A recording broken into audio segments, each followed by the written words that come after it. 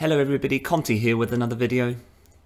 How to create a steam effect on top of a hot beverage in a static image or video shot in DaVinci Resolve 17. Inside your edits window, hold Ctrl and press I to insert a static image or video shot of your choice. Use Command instead of Control if you are a Mac user. Inside your media pool master bin, find the thumbnail of the static shot that you have inserted. Click and drag this to the start of your edits timeline. Use the selection mode tool to click and drag from the end of the edit if you wish to change the duration of this particular clip. If I click and drag my red playhead to the end of this edit, by default this particular clip will play for 5 seconds in my video. Go to Effects Library Underneath Toolbox, select Effects, and go to find Fusion Composition. Click and drag one of these to video track 2 directly above the image or video shot that you have inserted to your edits timeline. Right click on your Fusion composition and go to Open in Fusion Page. Inside your Nodes panel, hold Shift and press Space to open up the Select Tool window Use the search box at the bottom to find the ellipse tool with the circular icon. Select this tool and go to click on Add.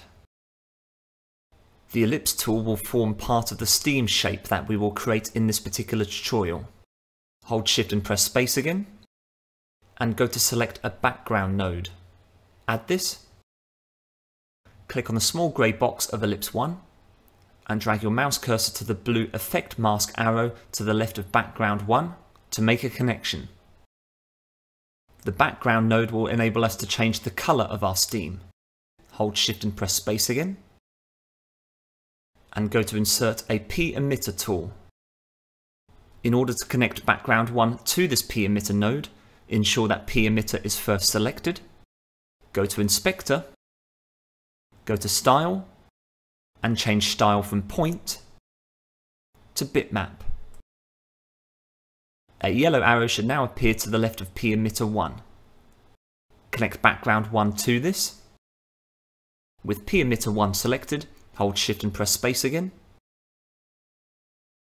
And go to insert a P directional force tool. This will enable us to control the direction in which the steam flows. With P directional force selected, hold shift and press space. And go to add P turbulence, which is another tool which will help us determine the direction in which the steam flows. And to ensure that these particle effects are processed in your final video, with P turbulence selected, hold shift and press space again. Go to add the P render tool. Connect this to media out 1 you should now see a preview screen appearing above your nodes panel, illustrating the particle effect of your video. If you don't, left click in one of the circles below Media Out 1 to make a preview window appear. Go to Ellipse 1.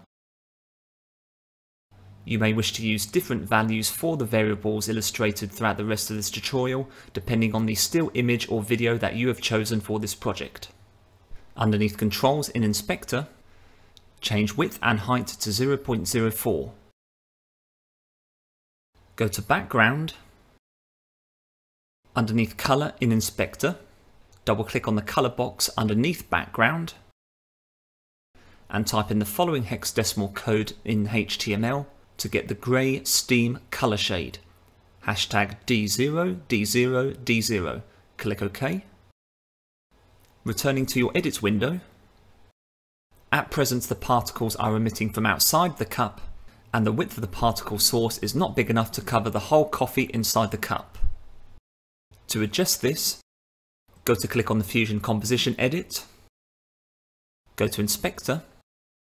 To shift these particles sideways, I will adjust position X. Increase this value to shift the particles to the right, or decrease this value to shift the particle source to the left side depending on where your hot drink or food is. In this example, I will increase position X to 306 so that the particles are positioned in the middle of the coffee. And to shift the particles down slightly so that they cover the bottom side of the coffee, I will change position Y to minus 75. Particles are only emitting from the centre of the coffee. In order to cover the whole width of this drink, go to zoom X and Y. Click on the link between these two variables so that this no longer appears in white and that both x and y variables can be individually adjusted without affecting the other. To ensure that the particles cover a wider area inside the coffee cup, I will increase zoom x to 2. Now to create the steam look and ensure that the particles are floating upwards. It is important that the particles are floating towards and away from the viewer and not directly upwards, so that the steam effect complements the high angled shot in which the coffee cup was pictured having the particles float upwards only would spoil the illusion. Right click on your Fusion composition clip and go to Open in Fusion page. Select Ellipse 1 again. Go back to Inspector and underneath Controls, change Soft Edge to 0.2. This should add a blur effect to your steam particles. Go to P emitter 1 the next step would be to ensure that the steam doesn't travel too far across your canvas and to make these particles fade away before they get too far from the coffee cup as they do naturally. Under Inspector and Controls, reduce lifespan to 80. Again, if you feel that in your final video the steam particles move too far away from your coffee cup before disappearing, you can reduce this value further. Now go to Style, go to Fade Controls, Change fade in to 0.01 so that there is a slight fade transition as the steam particles appear on your drink or food. And to have the steam particles fade away once they are halfway through their lifespan, decrease out to 0.5. Go to P directional force. To ensure that these particles float gently upwards, decrease strength to minus 0.006 go to P turbulence to create the effect that the steam is moving away and towards the viewer slightly, increase Z strength to 0.2. Return to your edit window.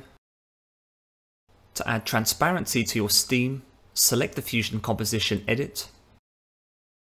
Under Inspector, and Video, and Composite, change opacity to 40.